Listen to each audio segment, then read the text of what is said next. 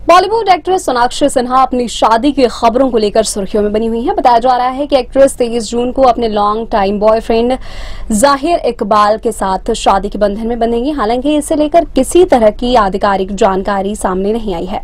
वहीं अब खबर आ रही है कि सोनाक्षी और जहीर ने न तो साथ फेरे लेंगे और न ही निकाह करेंगे। दोनों रजिस्टर्ड मैरिज करेंगे। तेईस जून की शाम को ही कपल एक रिसेप्शन पार्टी होस्ट करेगा, जिसमें तमाम बॉलीवुड सेलेब्स शामिल होंगे। खबरों के अनुसार सोनाक्षी सिन्हा की एक दोस्त ने जूम को बताया कि मुझे तेईस जून की शाम को कपल के साथ जश्न मनाने का निमंत्रण मिला है, लेकिन रियल वेडिंग का कोई ज़िक्र नहीं है। जहाँ तक मुझे पता है, वे पहले ही एक रजिस्टर्ड वेडिंग कर चुके हैं। या तेईस जून की सुबह ऐसा कर सकते हैं। लेकिन कोई बड़ी शादी नहीं होने जा रही है। बस एक पार्टी होगी। बताया जा रहा है कि 22 जून को सोनाक्षी सिन्हा के जूहू स्थित घर पर पारिवारिक समारोह होगा।